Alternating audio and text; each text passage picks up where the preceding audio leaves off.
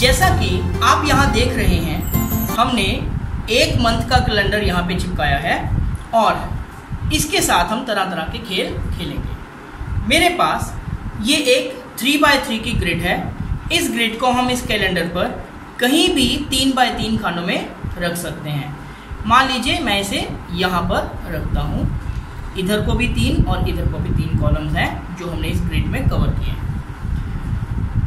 ये अपने आप में बड़ा मनोरंजक एक खेल है। जैसा कि आप यहाँ देख रहे हैं, दस और बारह। यदि इनको हम प्लस करेंगे, बाईस, यह बीच वाले नंबर का दो गुना होगा, ग्यारह दूनी बाईस। इसी प्रकार से यदि हम यहाँ देखेंगे, चौबीस और छब्बीस, पचास, यह बीच वाले नंबर का दो गुना होगा, पच्चीस दूना पचास। न केवल इस लाइन में, यदि हम इस प्रकार भी देखेंगे दस और चौबीस, चौंतीस, यह बीच वाले नंबर सत्रह का दुगना होगा। यहाँ पर बारह और छब्बीस, अड़तीस, यह बीच वाले नंबर उन्नीस का दुगना होगा। यही नहीं, यदि आप डायगनल भी देखेंगे तो दस और छब्बीस, छत्तीस, यह बीच वाले नंबर अठारह का दोगुना होगा और बारह और चौबीस, छत्तीस, यह भी बीच वाले नंबर का दोगुना होगा। आइए, अब हम एक और ग्रेड देखते हैं। हमारे पास यह दो बाय दो की ग्रिड है।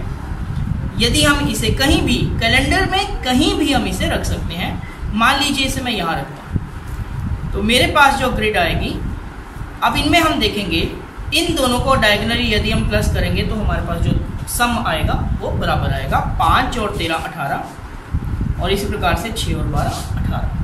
इसको हम यदि यहाँ रख देंगे तो सत्रह और पच्चीस, बयालीस, चौबीस और अठारह भी बयालीस। इस प्रकार से अलग अलग तरह की चार बाय चार, तीन बाय तीन की ग्रिड्स बना बनाकर हम इनसे तरह तरह की गेम्स खेल सकते हैं, सीख सकते हैं।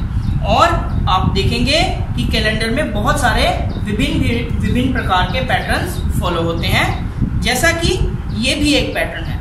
इसे हम किसी भी पूरी एक लाइन पर रख सकते हैं, जो पूरी लाइन होगी मान लीजिए इसे मैं यहाँ रखता हूँ।